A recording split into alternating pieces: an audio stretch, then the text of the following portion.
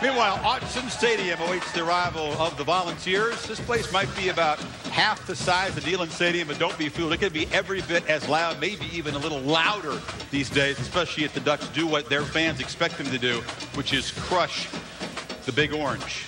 There's some excitement on Rocky Top. Butch Jones has energized them, and you could say that they really are playing with house money because Oregon is expected to win big we could throw a million silly stats so far at the, about the Ducks offense, but what's important to know is they put 59 on a Virginia defense on the road that throttled the BYU offense that ran through Texas. As good as anybody, and this goes back to last year at Cincinnati, at takeaways. The problem is the Ducks don't self-destruct. They have not committed a turnover in their first couple games. Here's a taste of what it's been like on Rocky Top as Jones gets his team ready for the big challenge in Eugene tonight. Else would you want to be? Nowhere but Rocky Top. We practice in what we call controlled chaos. And, you know, it's one thing to get lined up, but the things you can't simulate are really the speed of the plays and the players. Out of bounds. Give me the noise. Give me the noise. 25, 24, 23. Let's go, Larry. Let's go.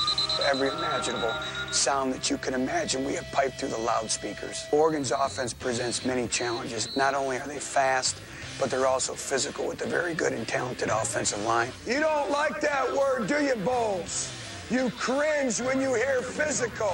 Are you going to be a quiet middle linebacker again today? Get off the ball, Reggie. Fast, fast. Call out the names. Tennessee football don't walk.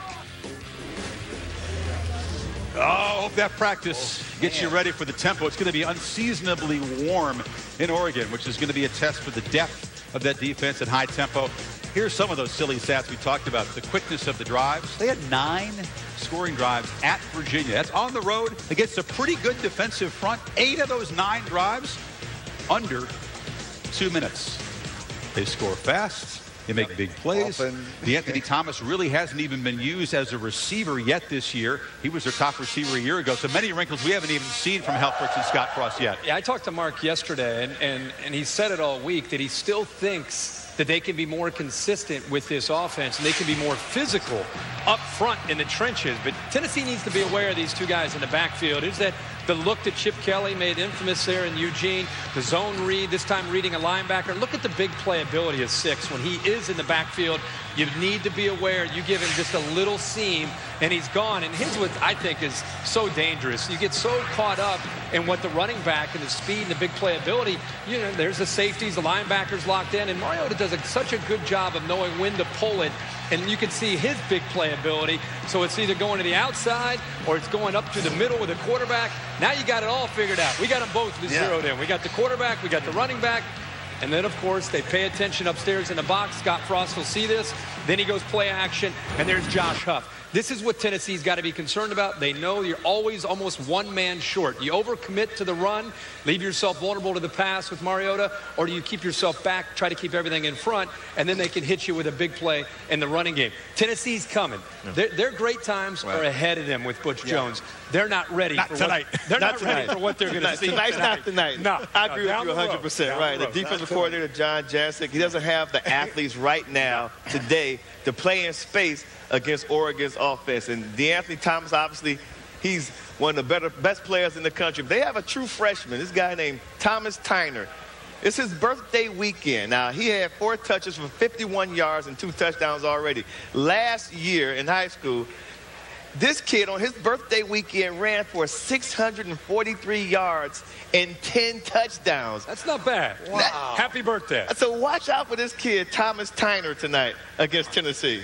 He's their, their, Unbel- their 10 hope- touchdowns in one game on his birthday. That's pretty good. And if he keeps coming, Yeah. that moves Dat out to the I know. outside. So That- it's, he's a big kid. It's scary Yeah. what they can do offensively. Yep. But, but let's don't forget about it. Tennessee has got great team speed, and they're playing good defense. They're number one in forced turnovers in the country. Yeah.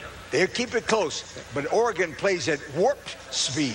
Those guys, whew, they'll blow them out in the second half. But at halftime, it'll be close. Tennessee be in there. Okay. The Bear gave me a stat that just blew me away. Tennessee has lost 16 straight to ranked teams. Not just that, by an average of 20 points, Bear. Is that true, Bear? It's true. And Wow. 22 or 23. It's pretty amazing how far that program's fallen. 16 straight. You know, bad 20, news is- average of 20 points. Last year, LC smoking on the set against the Gators this week, right? That's week right. three. That's right. Oh, yeah. Ranked team, you You feeling, them. you feeling smoky? No more dope. Bad news I'm about that lack of success is it's about to get serious. Serious, Tennessee's schedule. Eugene, Oregon, the home of the number two ranked team in college football. The Mark Helfrich era is off to an outstanding start, and the Oregon Ducks are flying faster than ever, led by a dynamic duo on offense. DeAnthony is a special player. He's that type of player. He can go 60 yards in a, in a heartbeat, and um, he's really just fun to watch. I feel like I feed off Marcus. When I see him do big things, it makes me want to do big things. Today might bring a true test. The Tennessee Volunteers surging under new coach Butch Jones and looking for the upset in the Pacific Northwest. Autzen Stadium has been sold out for every home game since 1999. That's 91 straight. On this September day, it hosts an SEC Pac-12 clash as number two Oregon tries to stay perfect in 2013. Afternoon, everybody. Mike Patrick, Ed Cunningham. It's great to have you with us. Jeannine Edwards will join us shortly. Two questions today. Will Tennessee give Oregon its first true test of the season? And have we seen enough of the Ducks to think they have a legitimate shot at their goal, which is to go 13 and 0? I think a lot of people around the SEC would say there's no way Tennessee could run with Oregon and play with them. I think they'd be wrong. This is a pretty good, pretty good group under Butch Jones, the first-year head coach. They play really hard on defense. And remember, last week against Virginia, Oregon looked sloppy at times. Virginia just didn't have the guys to play with them. But in that game, could have been beat if the team was better. I'm not saying they lose today, but I'm saying this is the first time we'll see a real test. So to answer your second question, we don't know how good Oregon is yet because I don't think they've been tested at all. Well, the real strength of Tennessee right now is easy to identify. It's the offensive line, and at least four of those five guys are said to have NFL futures. They got to lean on them. The old theory is old school, you go run the ball, and that's kind of what in the SEC they like to do. Don't mistake Tennessee for an old school offense. They will go fast and spread it out, but this group of big men has played a lot of ball together.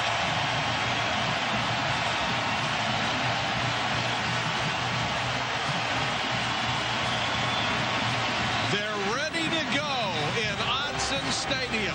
Kickoff just moments away. Oregon and Tennessee coming up next.